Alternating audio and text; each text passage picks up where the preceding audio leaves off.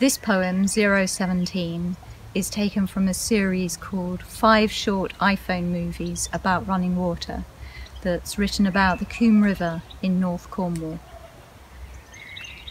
017 Darkpool Cove head-on collision.